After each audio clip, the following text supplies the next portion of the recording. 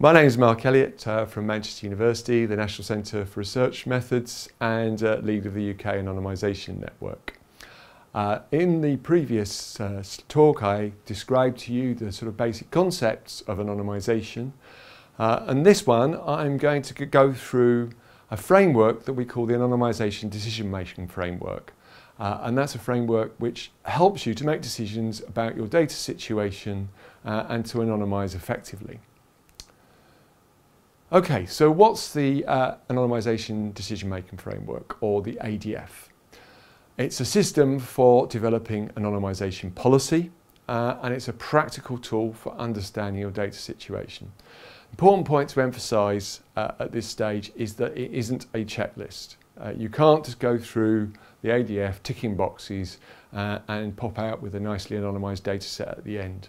There's a context interplay between different considerations that you will need to take account of and sometimes you're going round in circles between different steps in the process uh, until you get to a resolved data situation.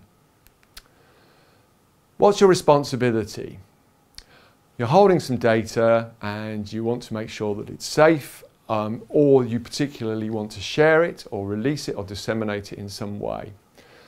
What you need to do is understand how a privacy breach might occur with your data in your data situation. Understand the possible consequence of that breach and then reduce the risk of that breach occurring to a negligible level.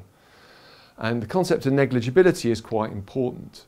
We're not asking for risk to be reduced to zero and we are asking for risk to be reduced to a very low level. Now fortunately, getting risk down from moderate to negligible is a lot easier than getting risk from negligible to zero. So negligible is a slightly flexible concept and it means really that a risk that a reasonable person would ignore. Okay, so in fact there is a 10 point process to the anonymisation decision making framework. I'll list them off here. Now I'm going to go through each of these in turn, so I'm not going to go through them in, on this particular slide. But what I will say is there's three different activities. The first is the data situation audit, which is made up of the first five points. The second is disclosure risk assessment and control, and that's the technical process, the technical part of the process. And the third is impact management, and that is the soft processes that you have to go through to make sure that the, any impact of any breach is reduced should things go wrong. Okay, so what do you actually have to do? The first thing is to understand and describe your data situation. So is the situation static or dynamic? By static, we mean simply we're looking at an existing data set in a particular environment and saying, actually, is that safe? So you might do that as part of a risk review. The second is thinking about data moving around. So a dynamic data situation is one where data is being shared or released into new environments. So what are the environments that the data is moving around in? And how does the data that you have relate to that environment? So here's an example. So here we have a data situation where we're moving data in fact into three environments. So we might imagine an organisation that's collecting data, passing data to a local authority as part of some legal process. And the local authority wants to release some aggregates from that uh, data that's collected from the, third, th from the third party. And releasing aggregates means essentially publishing open data. Now each of those data processes will have its own risks associated with it and each of those environments will have their own risks associated with it as the data moves through them. So you need to understand in your particular situation, and this sort of flow diagram often helps that. Second point is you need to understand the legal and governance issues that surround your particular data sets. What legislation is relevant? Often it's the Data Protection Act, but it may well be that other legislation governs the particular uses that your data may be put to. How does different legislation interact in terms of what it, you are allowed to do and not do? Related to this is what happened to the data before it reached you? Have you, are you the primary collector of the data or are you a secondary user? And what's the governance processes that were affecting the original owners of the data um, before they handed it over to you? And how does that interact with what you're allowed to do with the data now? This can be a quite a complex stage. Now, know your data. And Actually, maybe this particular idea, well, of course I need to know my data, but actually just getting a map of your data, and in the framework we have a template for doing this, actually having a map of all the different properties of data and then thinking how these relate to the notions of risk is actually quite important. And doing that as an exercise at an early stage uh, is very important and can then frame your risk management process. So where have the data come from? How were they collected? Who are the data controllers for the data? Are there any other parties involved as data processors? What are their responsibilities? Is the data about people and is the base data personal data? So data could be about people and not be personal if it's been anonymized. And similarly, sometimes data can appear not to be about people, but actually still be personal data. Uh, a good example of this was uh, the data collected by the Department for Community and Local Government uh, on fires uh, via the Fire Rescue Service. And that data ostensibly was about fires, but fires often have a very close association with individual people because they happen uh, in locations, often people's houses. And therefore those data were still personal data, even though ostensibly they were not about people. Data subjects, who are they? Are they a vulnerable or a sensitive group? What is the relationship between the data subjects and the data? Have they given any sort of consent to its reuse? And so on. What type of data do you have? Is it quantitative, qualitative? It's in the form of microdata or aggregates or some other form. What type of variables do you have? Do you have any variables that would be regarded as sensitive, either in law or just generally in terms of how they're understood? Do you have any standard identifiers? Properties of the data set that might be relevant. The quality of the data. Actually, this is slightly paradoxical, but lower quality data is actually lower risk. It's less easy to find somebody if the data is of lower quality. Is the data time linked? Is it hierarchical or flat? Does it, is it drawn from multiple sources? Is it a population or is it a sample of a population? And all of these properties uh, can affect the risk. And we now understand the use case. And again, you may not be entirely clear about why you need to do this. What will the data be used for? Now, it may be that there's a specific request to share the data. It's a specific organisation who wants to use it for a specific purpose. Actually understanding that purpose in detail will allow you to arrive at what is effectively a minimum specification for the data that are needed. So what variables are needed? Is all the data needed or will a sample suffice? Who will hold the shared data? Who will access it and how? Essentially, these are definitions of the data and the data environment in that, that new situation. If you've got a well understood use case and then you go back and start thinking about what sort of data you're able to release in terms of its risk, then you can have a dialogue between yourself and the potential user. Now, in more general use cases where perhaps you're disseminating a data set for research purposes or as open data, you can still usefully think about how users would like to use this data uh, and to sort of think about what actually is of the most value. Understanding your ethical obligations beyond the legal constraints is also important. Where are the loci of consent with these data? And this can be quite complicated. So the data subjects may not have been involved in any direct consent process. So this happens when often when there are multiple levels of data subjects. So for example, GP data, consent is often given by GPs to access those data, but not by the patients. And the, the data actually are data about GPs and they're also data about uh, the patients as well. So there's a complex mix of different types of data subjects. So who's consented to what is actually quite important in terms of understanding your ethical obligations. And who is aware of what? Not just to do with the uh, notion of consent, but also awareness. And are there reasonable expectations that a data subject might have as to what is going to happen to their data, the data about them, once they've handed it over for one purpose. Is it reasonable to, for them to expect that it won't be used for another purpose? Or would it be in the normal expectation of a data subject that actually their data would be reused? Uh, and that's a very fuzzy area, but it's something that's important to understand, thinking about in terms of your data flow. Is the data situation sensitive? So is the topic of the data sensitive? Is it about a particularly stigmatizing disease, for example? Is the population that the data is about a vulnerable population? Perhaps it's a data about children. And are there any sensitive variables, again, either legally or in terms of what's generally understood to be sensitive? Okay, and now we move on to the technical disclosure control part of the framework. Identify the processes you will need to use to assess disclosure risk. Now, there's a separate talk on that, uh, on disclosure risk assessment and, and control. Here we'll just go through very briefly the main points. The first of these is scenario analysis. Now, this is very important.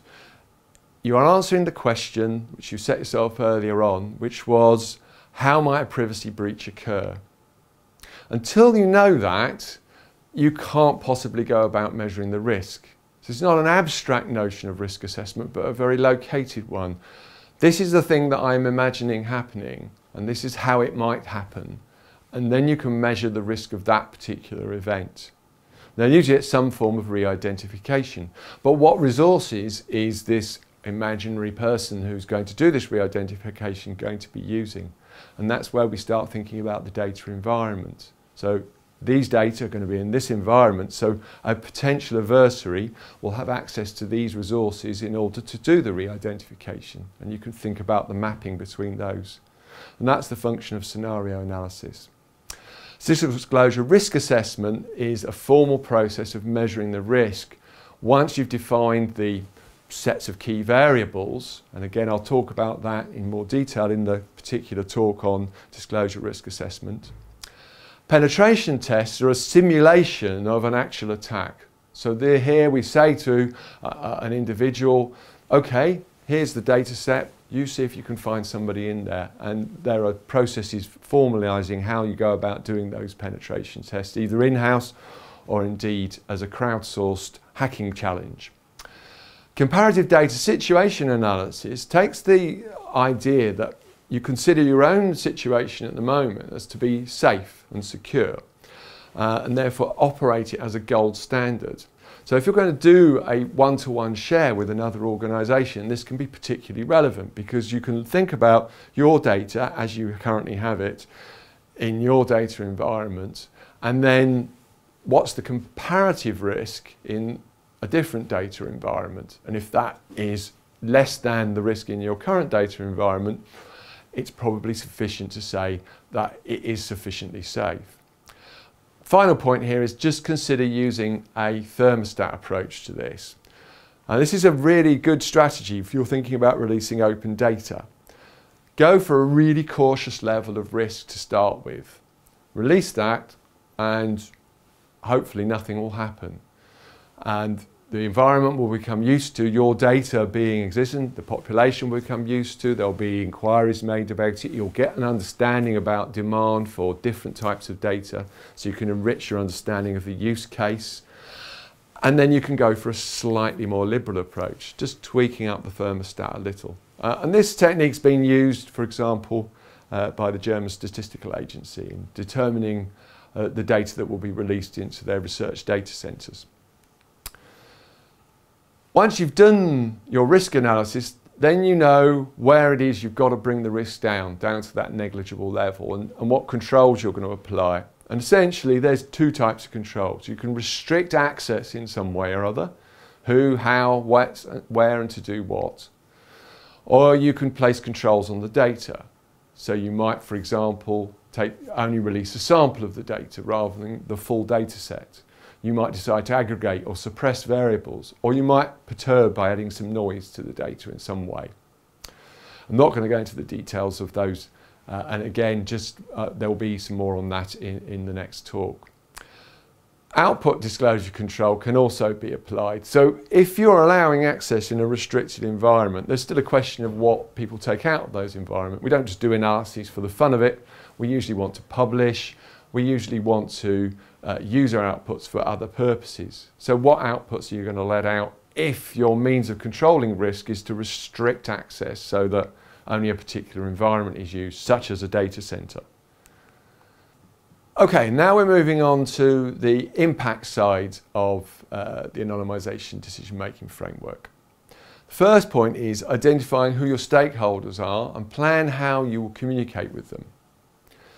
Who needs to know about your share? Who needs to know about the release of data? Is it the data subjects, the wider public, the users? These are questions you need to address. Once you've identified, then what is the engagement you're going to, going to uh, carry out? will they be involved in the design of the data? And that might be particularly relevant to users, but it could involve data subjects as well. Is there going to be a consultation? And for some uh, where you might be changing policy around particular use of particular data, consultation with the wider public might be really important in terms of thinking how that's going to play out when it gets publicised uh, and not by you. And transparency might well be important. So being transparent, your own public announcements about the data, about the data processes, who you're sharing with and why, are all important in terms of building understanding about why you're doing what you're doing. And this will reduce the impact of a breach should it happen. What do they need to know? Well, as well as about the data, are you going to publish details of your anonymisation process? There's some advantage to that. It might reassure people about the security. However, uh, if you do publish uh, details about some anonymisation processes, this actually increases the risk of a breach. Plan what happens next once you've shared and released the data.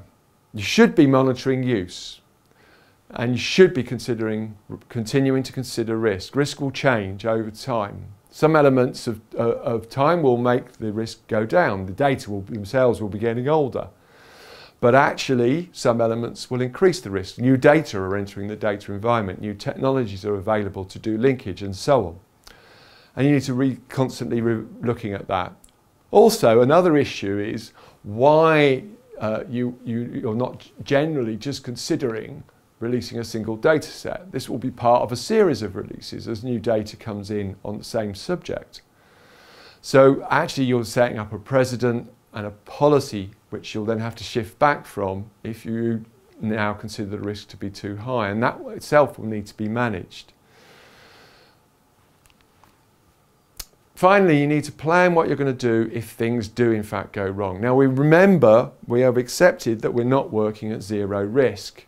Therefore, by definition, there is a residual risk. Therefore, there is a possibility that there'll be a breach. And therefore, you need to plan for that as part of your anonymisation strategy. Avoid the lure of catastrophization. Okay? These aren't the, the same sort of problems as a nuclear power station blowing up. And it's very easy when thinking about data privacy to cast them in that light. Disclosure event mapping is a key thing. Like what is it that's happened? And if you've done your breach scenarios well, you should have a map for that already. What is that's going to happen? And then what's going to happen next? So it's not simply that there's an event and that's the end of it. Well, actually, something will happen next. There'll be a play out in the media. There'll be your own communications. Will you talk to an adversary if it's an actual attack that's led to the breach? The idea is to be active and be planned. Okay, to conclude, the anonymisation decision-making framework is a tool which allows you to think constructively about your data situation. It moves us closer to a harmonised idea of anonymisation which ties together the technical and the legal aspects uh, of that process. Now we have an open access book forthcoming uh, and if you look on www.ukanon.net uh, you will see uh, more information about the likely release date. Thank you.